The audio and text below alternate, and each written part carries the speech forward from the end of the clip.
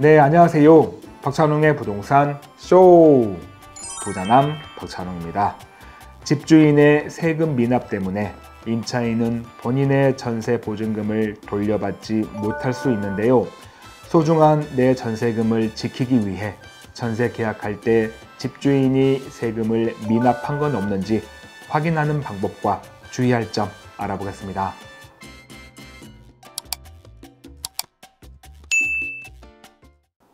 먼저 집주인이 세금을 미납한 것 때문에 임차인이 전세 보증금을 받지 못한다, 떼인다. 대체 왜 그럴까? 어, 조금 어렵게 설명을 드린다면 조세 채권 우선의 원칙 때문입니다.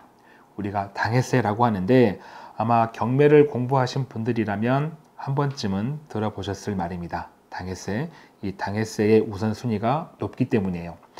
쉽게 설명을 드리면 만약 집주인이 국세나 지방세와 같은 세금을 미납했다면 국가는 그 미납된 세금을 임차인의 임대 보증금보다 우선해서 충당할 수가 있죠. 우선해서 가져갈 수가 있습니다. 언제 경매나 공매가 이루어졌을 때. 그래서 경매 공매 처분으로 주택을 매각한 대금에서 국가가 집주인이 미납한 세금을 먼저 가져가고 나서 남는 것이 있을 때 그 다음 순위들이 돈을 가져가는데 만약에 국가가 미납된 세금을 먼저 가져가고 나서 남는 게 없다면 이때는 임차인도 임대보증금을 받지 못하게 됩니다. 어, 확정일자 받은 임차인의 임대보증금보다 당해세의 우선순위가 높기 때문이에요. 경매가 진행됐을 때. 여러분이 참고하실 수 있도록 어, 경매 시에 배당 순위를 한번 살펴보면 일단 영순위 가장 먼저 우선되는 게 경매 비용과 필요비 유익비고요. 그 다음 1순위가 주택임대차 보호법상 소액 임차인의 보증금 중 일정액 우리가 최우선 변제 금액이라고 말하죠. 그 최우선 변제 금액은 1순위가 맞습니다. 그리고 이제 근로기준법상 어, 최종 3개월의 어, 임금 채권 이게 1순위고요. 그 다음 2순위가 바로 당해세입니다. 그리고 3순위가 여기에 이제 확정일자 받은 임차인의 임대 보증금이죠. 우선 변제를 받을 수 있는 그 보증금이 3순입니다. 그러니까 당해세가 당연히 더 앞서 있잖아요. 그래서 집주인이 세금 등을 많이 미납했다면 임차인은 그 집이 나중에 경매나 공매가 이루어졌을 때 임차인은 임대 보증금을 받지 못할 수 있다라는 겁니다. 참고로 이제 3순위에는 어, 확정일자 받은 임차인의 보증금 외에도 어, 당해세 이외의 조세, 뭐 국세나 지방세 밀려 있는 거죠. 그리고 이제 저당권과 같은 채권 등이 있습니다. 이제 이런 것들은 시간 순으로 어, 순위가 결정지어지는 거죠. 자, 그래서 이렇게 어, 집주인이 세금을 내지 않아서 미납해서 임차인이 임대 보증금을 돌려받지 못한 그 데이터를 보니까 2016년부터 2020년까지 5년 동안 총 900명입니다. 그리고 이제 어, 아무래도 전세 보증금 음, 규모가 큰 그러니까 전세값이 높게 책정되어 있는 수도권에서 주로 발생하고 있고요. 근데 이제 이 데이터를 들으시고 아마 이렇게 생각하신 분들도 있을 거예요. 어디 보자. 5년 동안 900명이면 뭐 그렇게 많은 숫자가 아닌데? 라고 생각할 수 있어요. 근데 그렇게 적은 숫자라 생각할 수 있다 하더라도 문제는 뭐냐? 그 적은 숫자가 나에게, 여러분에게 일어날 수가 있다라는 겁니다. 그리고 더 이제 우려가 되는 건, 음, 집주인이, 그러니까 뭐 국세든 지방세든 이렇게 세금을 어, 내지 않아서 이렇게 막 밀려 있음에도 불구하고, 어, 독촉 기한 전이거나 아니면 국세청 등에서 압류가 되어 있지 않다면 등기 상황 전부 증명서 여러분이 등기부 등본이라고 부르는 그 서류에 기재가 안 돼 있어요. 그러니까 확인할 수가 없다는 겁니다. 그래서 확인하지 못해서 전세 계약하고 살고 있는데 어느 날 갑자기 경매가 이루어지고 나는 전세금을 돌려받지 못하고 이런 일이 발생한다는 겁니다. 그래서 이제 이런 문제를 해결하기 위해서 임대차 계약을 체결하기 전에 과연 집주인이 세금을 잘 내고 있는지 혹시 뭐 미납된 건 없는지 이걸 확인할 수 있는 미납 국세 등 열람 신청 제도가 있습니다. 시행되고 있어요. 그리고 국세가 있으니까 당연히 지방세도 열람 신청할 수가 있고요. 이제 그 제도는 음 이제 음 어떻게 신청하는 거냐면 이 미납 국세 등 열람 신청서라는 양식을 작성해서 임대인 그러니까 집주인의 동의를 받아서 어, 임차할 건물 그러니까 어, 여기서 이렇게 법에 건물이라고 한 건 뭐냐면 이 어, 세금 열람 신청 제도는 주택임대차 보호법상 주거용 건물 그리고 상가임대차 보호법상 상가 건물 둘 다 해당이 됩니다. 그래서 어, 임, 집주인의 동의를 받아서 임차할 건물 그러니까 내가 임대차 계약을 체결할 내가 전세 계약을 체결할 그 주택이 위치하고 있는 관할 세무서장에게 제출하는 거예요. 그러면 어, 이제 집주인이 세금을 잘 내고 있는지 확인할 수가 있는데 물론 이제 지방세 같은 경우는 당연히 임차할 건물에 관할 지자체 장에게 제출하겠죠.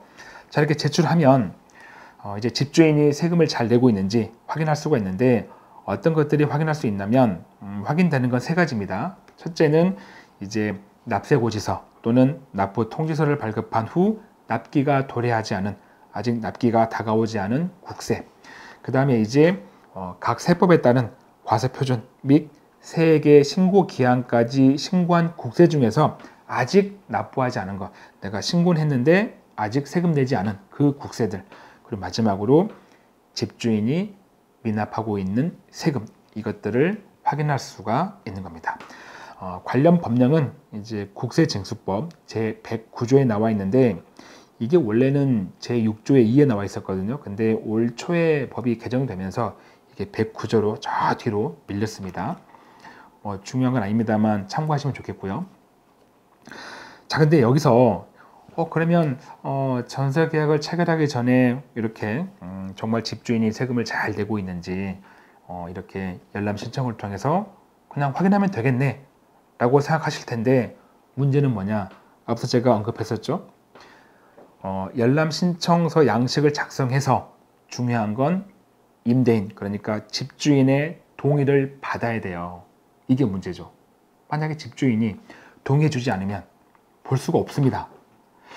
어, 그래서 음, 임대차 계약을 체결할 때는 특히 전세 계약을 체결하고 그 전세 보증금이 좀 많다면 금액이 크다면 어, 계약서 작성할 때 집주인에게 어, 나 이거 어, 집주인분이 세금 잘 내고 있는지 확인할 거니까 좀 동의해 주세요 라고 요청하셔야 돼요. 그런데 집주인이 만약에 동의해 주지 않는다 이렇게 비협조적이다 라고 하면 차선책으로 아니 그러면 어쨌든 나는 불안하다. 세금 때문에 내가 전세 보증금을 떼일 수 있는 거니까 그렇다면 정말 집주인인 당신이 세금을 잘 내는지 어, 완납 확인서, 뭐 국세 완납 증명서나 아니면 지방세 완납 증명서 이런 것들을 좀 떼달라라고 요구할 수도 있겠죠. 근데 만약에 이것도 거부한다 라고 하면 그 다음에 정말 소중한 내 전세 보증금을 지킬 방법은 이제 전세금 반환 보증에 가입하는 거죠. 일정의 어, 수수료가 발생한다 하더라도 어쨌든 내 보증금은 지켜야 되는 거니까. 근데 또 이게 또 조건이 있잖아요. 가입할 수 있는 조건이면 괜찮은데 그 요건이 되지 않아서 전세금 반환 보증을 가입할 수 없다면 그때는 그 집 말고 다른 집을 찾아서 전세 계약을 체결하는 게 좀더 어, 안전한 방법입니다. 다른 주택을 찾는 걸 한번 고민해 보시기 바랍니다. 사실 이제 음, 뭐 여러분들이 어, 임대차 계약을 체결할 때 이제 워낙 일반적으로 알고 있는 상식으로 등기사항 전부 증명서 그러니까 등기부 등본 확인하시는 것 그리고 이사 가자마자 전입신고하시고 확정일자 받고 이런 거참 잘하세요. 근데 이제 오늘 제가 말씀드렸던 이런 것들 어, 집주인이 만약에 정말 세금 많이 밀려 있다면 내 보증금 불안한데 그러니까 정말 집주인이 세금 잘 내고 있는지 요거 확인하겠다라는 이런 열람 신청 이런 것들 그리고 이제 만약에 어, 다가구 주택이라면 내가 전세 계약하고자 하는 그 주택이 다세대나 아파트가 아니라 다가구 주택이라면 어, 선순위인 임차인이 얼마큼 되는지 확인해 보셔야 돼요. 왜냐하면 어, 다가구는 가구 수가 많잖아요. 근데 만약에 어, 내가 후순이면 혹시나 그 집이 경매가 이루어지게 되면 내 보증금을 받지 못할 확률이 높으니까 이제 그때는 전입 세대 열람해서 나보다 선순위인 임차인이 얼마나 되는지 확인하시고 어, 계약을 체결하시는 게 좋습니다. 그리고 이제 제가 바라는 게 있다면 아마 저뿐만 아니라 많은 분들이 바랄 거예요. 정말 깔끔한 건 아까 말씀드렸던 음, 국세징수법. 그러니까 어, 이렇게 관할 세무서장에게 어, 집주인이 세금 얼마나 잘 내고 있는지 열람 신청할 때 집주인의 동의를 받아야 되잖아요. 아니 그러면 집주인 동의 없이 그냥 집주인의 세금 미납 정보를 확인할 수 있도록 법을 바꾸면 깔끔하잖아요.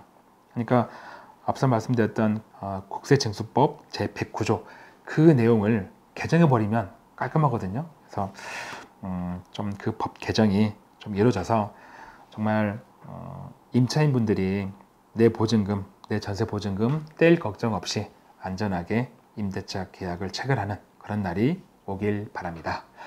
마무리할 시간입니다. 저에게 큰 힘이 되는 구독하기와 좋아요, 알림 설정 꼭 눌러주시고요. 저는 다음 영상에도 최선을 다하겠습니다. 고맙습니다.